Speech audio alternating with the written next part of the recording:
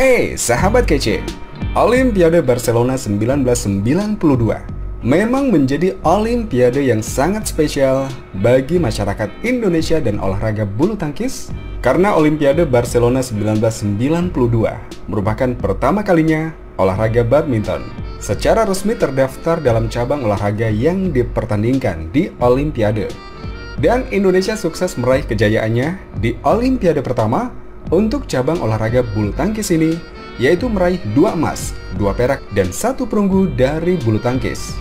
Berlangsung di Pavelo de la Marbella dari tanggal 28 Juli sampai 4 Agustus 1992, sebanyak 36 negara ikut serta dengan total 177 atlet. Ya, meskipun hanya empat sektor yang dipertandingkan, yaitu tunggal putra, tunggal putri, ganda putra dan ganda putri, namun jumlah medali yang dibagikan ada 16 medali, yaitu 4 emas, 4 perak, dan 8 perunggu. Ya, hanya di Olimpiade 1992, medali perunggu diberikan untuk dua pemain yang kalah di babak semifinal. Atlet-atlet Asia menjuarai 15 dari 16 medali yang dibagikan, sedangkan Denmark adalah satu-satunya negara Eropa yang memperoleh medali. Dan berikut adalah para pemain bulu tangkis Olimpiade Barcelona 1992 yang sukses meraih medali emas, perak, dan perunggu. Di tunggal putra, Indonesia meraih tiga medali, yaitu satu emas, satu perak, dan satu perunggu. Emas dipersembahkan oleh Alan Budi Kusuma yang sukses mengalahkan Ardi Wiranata. Ardi yang awalnya lebih dijagokan saat mengikuti Olimpiade 1992 hanya membawa pulang medali perak. Sementara medali perunggu diraih oleh Thomas Tuel Lauritsen dari Denmark dan Hermawan Susanto dari Indonesia.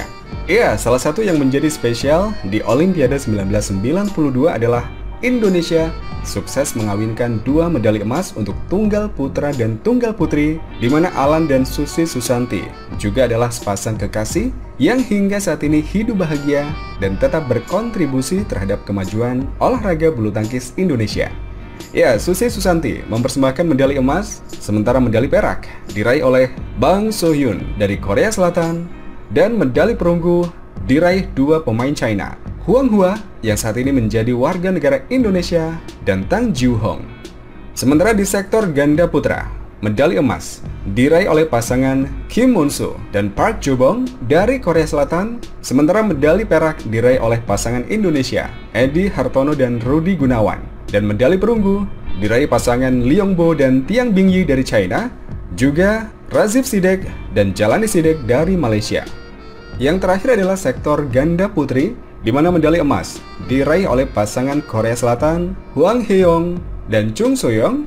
Medali perak diraih oleh Guan Weizhen dan Nong Kuan Hua dari China. Sementara medali perunggu diraih oleh Gil Yong Ah dan Sim On Jong dari Korea. Satunya lagi pasangan Lin Yan Fen dan Yao Fen dari China. Ya, itulah ke-16 pemain bulu tangkis yang sukses meraih medali di Olimpiade Barcelona 1992.